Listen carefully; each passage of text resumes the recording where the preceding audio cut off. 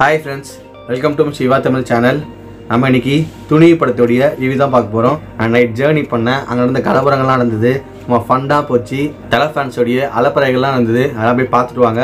அதுக்கப்புறமா நான் video continue பண்ணுறேன் போகிறேன் ஸோ ஃப்ரெஷ்ஷாக போய் பார்க்க போகிறேன் பார்த்துட்டு வந்துட்டு அப்படியே ரிவ்யூ எடுக்க போகிறேன் ஸோ டைமிங் பார்த்தீங்கன்னா கரெக்டாக பத்தாவதா? கரெக்டாக பன்னெண்டு மணிக்கு ஷோ ஸோ பன்னெண்டு மணி ஷோ போய் பார்க்க போகிறோம் ஸோ ஃப்ரெஷ்ஷாக ரெடி ஆகிட்டு இருக்கேன். தான் சாப்பிட்டு முடித்தேன் வீட்டில் தான் தூங்கிட்டு இருக்காங்க உள்ளே. நான் மட்டும் தான் இருந்தேனே இப்போது ஸோ ஒரு ஆஃப் அன் ஹவரில் கிளம்பிடுவேன். சி த்ரீ மால் ஸோ மாமண்டூரில் இருக்குல்ல அந்த சைடில் அந்த தான் புக் பண்ணியிருக்கேன் நான். என்ஜாய் பண்ணுறோம் தலை பொங்கலோடய ஆரம்பிக்கிறோம். டைம் பத்தரை மணி ஆகுது. கிளம்பிட்டோம். ஸோ பனி வேறு ஊற்றுது எப்படி போய் சேர போகிறோமோ ஸோ பார்க்கிங் ஏரியில் வண்டி பார்க் பண்ணிட்டு ஒரு இருபது நிமிஷம் முன்னாடியே வந்தாச்சுங்க. எல்லாம் வண்டி ஃபுல்லாக இருக்குது ரேஷாக ஸோ ரெண்டு படம் துணிவு போட்டிருக்காங்க போல். ஒரு படம் வாரிசு போட்டிருக்காங்க போல். மொத்தம் மூணு ஸ்க்ரீன் இருக்குல்ல இங்கே. ஸோ ஷோக்குள்ளே வந்தாச்சு. ஸோ வந்ததுக்கப்புறமா சைடில் பார்த்தீங்கன்னா ஃபுல் அண்ட் ஃபுல் பேனராக வச்சுருந்தாங்க. தலை படத்தோட பேனர் வச்சுருந்தாங்க. வாரிசு படத்தோட பேனர் வச்சுருந்தாங்க. ஸோ நம்ம வந்து தலை ஃபேண்ட்னா தலை படத்தோட பேனர் ஃபஸ்ட் எடுத்தேன். ஃப்ரண்ட் கேமராவில் செல்ஃபியாக அப்புறம் சி த்ரீ மாலை ஃபுல்லாக கவர் பண்ணலாம். எப்படி இருக்குன்ற மாதிரி ஷோ பண்ணி காமிக்கலான்னு சொல்லிட்டு. ஸோ கட்சியில் இருந்ததுனால வந்து வாரிசு படத்தோட அந்த கொடிலாம் ஃப்ளாக் பார்க்க விட்டுருந்தாங்க. ஸோ த்ரீ த்ரீ மால் ஜோ ஜெகஜோதியாக வந்து தேட்டருக்காரன் சந்தோஷமாக இருந்துருப்போம்னு நினைக்கிறேன். நைட்டு பன்னெண்டு மணிக்கு இவ்வளோ பெரிய கூட்டம் வந்திருந்தது. நிறைய லேடிஸ்லாம் வந்திருந்தாங்க படத்துக்கு. ஸோ வேறு லெவல் ஃபன்னாக போச்சு. செம்ம அட்டகாசம் செம்ம ஃபன்னு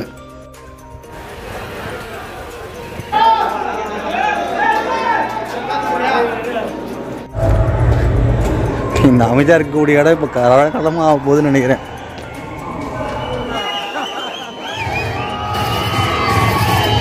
ஸோ இதில் பார்த்து என்ஜாய் பண்ணிங்களா? நானும் வந்து நல்ல ஃபேனாக ரொம்ப என்ஜாய் பண்ண மூவியை ஸோ ஆனால் பேசிக் ரிவ்யூ வர நிறைய கருத்துக்கள் இருக்குது படத்தை பற்றி சொல்கிறதுக்கு அதெல்லாம் வந்து நான் ஷேர் பண்ணிக்கிறேன். துணி படம் ரொம்ப ரொம்ப நல்லாயிருக்கு நூறுக்கு தொண்ணூறு மார்க் என் சைடில் நான் கொடுப்பேன்.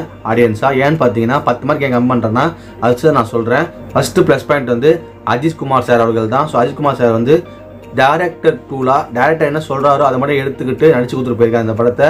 அவர் படமாக எங்கேயுமே தெரியல. எல்லாமே எச்னோ சார் படமாக தான் தெரிஞ்சுது. மிகப்பெரிய ஃபேன் பேஸ் வச்சுக்கூடிய அஜித் சாருக்கு மிகப்பெரிய ஆட்ஸ் ஆஃப் என் பாயிண்ட் ஆஃப் வியூவில் அடுத்த விஷயம் என்னன்னா எச்னோ சார் எச்னோ சார் இன்டர்வியூ பார்த்தா உங்களுக்கு தெரிஞ்சிருக்கும். அவர் வந்து ஒரு பொலைட்டாக சொல்லியிருப்பாப்புல நிறைய விஷயத்த வந்து. ஆனா, நான் என்டர்டைன்மெண்ட் மீடியாவாக தான் பார்க்குறேன் சினிமாவை ஆனால் அதில் நூற்றி இருபது பார்க்குற ஆடியன்ஸ்க்கு ஒரு கருத்தும் நல்ல ஜென்ரல் நாலேஜ் விஷயமும் வந்து கெயின் பண்ணிட்டு போகணும்னு ஆசைப்படுறேன்னு சொல்லிட்டு அந்த கருத்து வச்சிருப்பாப்புல. அது மாதிரி ஜென்ரல் நாலேஜுக்கு நூறுக்கு இரநூறு பர்சன்ட் இந்த படத்தில் இருக்குன்னு சொல்லலாம். அவ்வளோ சூப்பரான கருத்து நிறைய வச்சிருக்காப்புல. இன்டெரக்டாக பிஎம் சிஎம் வீட்டில் இருக்கக்கூடிய மனிதர்கள் நிறைய கம்பெனி ஸ்டாஃப் நிறைய கம்பெனி ஓனர்ஸ் இருக்கு எல்லாரையுமே வந்து டார்கெட் பண்ணி அடிச்சிருக்காப்புல. எல்லாமே சூப்பராக இருந்து பார்க்கறதுக்கு நிறைய ஒன்லைனரில் அந்த பாயிண்ட் ஆஃப் வந்து ஓப்பனாக பேசினா நீங்கள் பார்க்கறது இன்ட்ரெஸ்டிங்லாம் போயிடும். ஆனால் நான் பேசல நான். மஞ்சு ராமனோட ஆக்டிங் நல்லா இருந்தது பார்க்கறதுக்கு அமுத்தர் கணி போலீஸ்கார் கேட்டப்ப வந்து ஆக்டரோலாம் இருந்தது. அவர் பர்ஃபார்மன்ஸ் நல்லா பண்ணியிருந்தாப்புல. குக்குத் கமல் நச்சரா பார்த்தீங்கன்னா அவர் பேர் ஞாபகம் இல்லை எனக்கு. அவரோட ரோலை வந்து பத்து நிமிஷம் இருந்தால் கூட கதையில் நல்லா பொருத்தமாகவும் நல்லா பவர்ஃபுல்லாகவும் ரோல் இருக்குன்னு சொல்லலாம். ப்ளஸ் டி போட்டராக தந்திருப்பாரு. அவர் ரோல் ரொம்ப ஃபன்னியாகவும் நிறைய சமூக கருத்துக்களை வந்து போகிற வழியில் அழி அழித்தடிச்சிட்டு போகிற மாதிரி திரிச்சிட்டு போன போல அதுவும் சூப்பராக இருந்துச்சு. அப்புறம் வில்லன் ரோல் ஸோ இவங்க பாயிண்ட் ஆஃப் வியூவில் இந்த அஞ்சு பேர் தான் வந்து கதையில் மெயினாக தெரிஞ்சிருப்பாங்களே உங்களுக்கு. இப்படி எல்லாமே வந்து சும்மா வந்துட்டு போனாங்கப்பா இவங்க இருக்கிறாங்கப்பான்ற மாதிரி தெரியும். இவங்க அஞ்சு பேர் தான் மெயின் ஃபோக்கஸாக படத்தை ஃபுல்லாகவே இருந்திருப்பாங்க. ஸோ ஸ்டார்டிங் ஃபர்ஸ்ட் ஆஃப் வந்து சூப்பர் இன்ட்ரெஸ்டிங்காக விறுவிறுப்பாக போய் முடிஞ்சிருச்சு. செகண்ட் ஹாஃபில் தான் வந்து கதையை பேக்கோர் பண்ணி என்ன கதைன்னு புரிய ட்ரை பண்ணுறாங்க நம்மளுக்கு. ஸோ செகண்ட் ஹாஃப் கொஞ்சம் கொஞ்சம் லேகாக போகுதுன்னு சொல்கிறாங்க நிறைய எனக்கு லேகாகவே போல ஃபஸ்ட் ஹாஃப் செகண்ட் ஹாஃப் சேமாக படம் மாதிரி எனக்கு தோணுச்சு. படம் ஓரளவு கரெக்டாக இருந்துச்சு. இந்த பாயிண்ட் ஆஃப் தான் படத்தோட விஷயம்.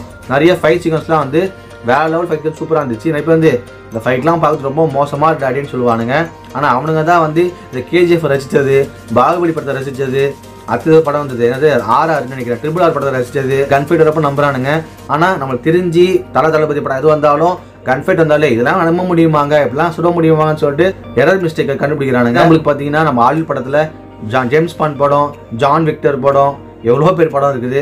அதெல்லாம் பார்த்து நம்ம கம்மன் தான் இருக்கிறோம். ஆனால் இந்த படத்தை மட்டும் பார்த்துட்டு ஷூட்டிங்கில் இப்படி பண்ணியிருக்கலாம் இல்லை இப்படி பண்ணியிருக்கலாம் இல்லை இது கொஞ்சம் நம்புற மாதிரி இல்லைங்கன்னு சொல்லிட்டு போகிற போக்கில் ஒரு கருத்தை விட்டு போயிடுறோம். அது ஏன்னு எனக்கு தெரியல.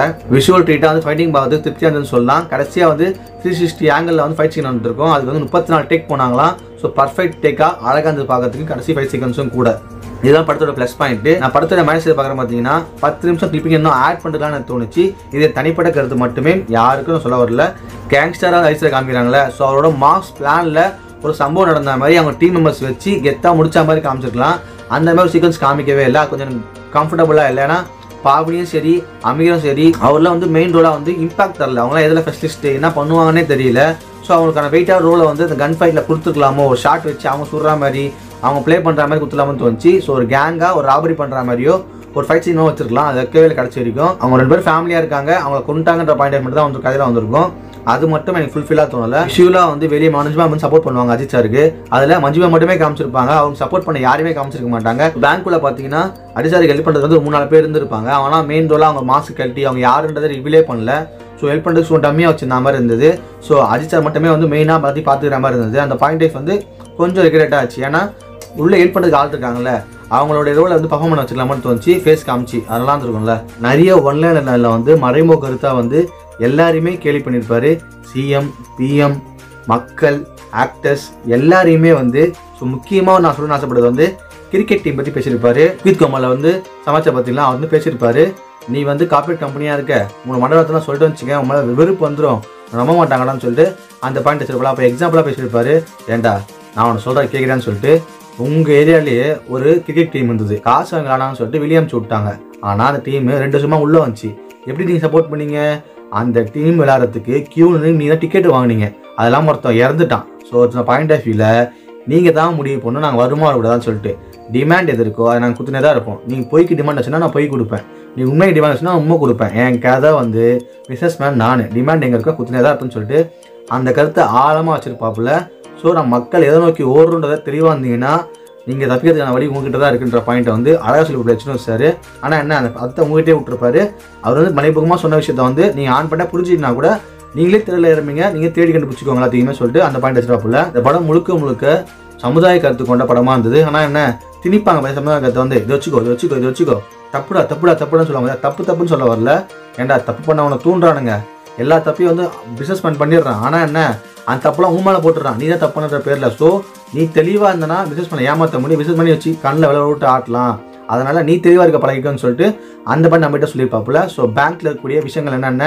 பேங்க் எப்படிலாம் உங்களை ஏமாத்துது? நீங்கள் பேங்க்கிட்ட தப்பிச்சு நீங்கள் எப்படி பேங்க்கை கெத்து காமிக்க முடியுன்ற பாயிண்ட் வந்து உங்களுக்கு புரிய கடை பண்ணியிருப்பாங்க. ஸோ அதை நீங்கள் புரிஞ்சுக்கோங்க. எல்லா ஃபார்முமே தெளிவாக படித்து யூஸ் பண்ணுங்கள் யங்ஸ்டர்ஸ் நான் நம்ப சொல்கிறேன் நான். ஏன்னா அப்போ தான் நம்ம வந்து அர்த்தம் சொல்லி புரிய முடியும். நம்ம அந்த ஃபார்ம் சைன் போட நல்லா சைன் போட்டு கொடுத்துட்டு போய்ட்டு வச்சுக்கோங்க நம்ம படிக்க மாட்டோம். படிக்கிறது நம்மளே படிக்கல. படிக்க தெரிஞ்ச வழி படிப்பான்? தொடவே மாட்டான். அது அப்படியே போயிட்டே தான் இருக்கும்.